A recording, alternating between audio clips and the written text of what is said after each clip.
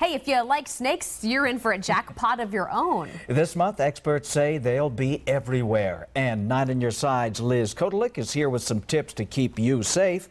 I understand you got up close and personal today. I did get very close. Like, take a look at how close I got. Don't worry, though, I wasn't that close to the camera at this point. But hey, a new warning from Arizona Poison and Drug Information Center says encounters like this may be happening more often.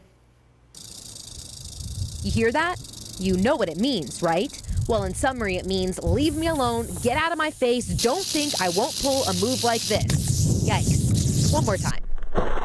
But the best thing about this sound is that you're forewarned to back off. But when it's August, it's baby rattlesnake time, and that makes things a little more complicated. They don't have a rattle when they're first born, so you're not going to hear them. This brave soul is Augie. He and his business partner started Sonoran Desert Reptiles, a not for profit company that picks up creatures from where you don't want them and relocates them to their natural habitat. And when it comes to a miniature version of this fellow, You don't see them and you don't hear them. scary, I know, but here's what you can look out for.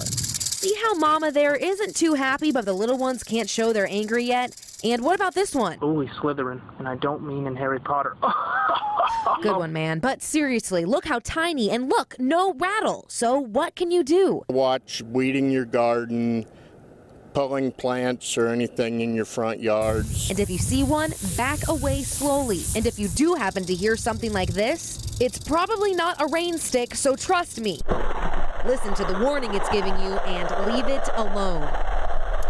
Now, the Poison Center recommends anyone who feels a sting, pinch, or a bite to immediately call them, and their information, as well as the info for Sonoran Desert Reptiles, can be found on KGUN9.com. Oh, man. I know. I know.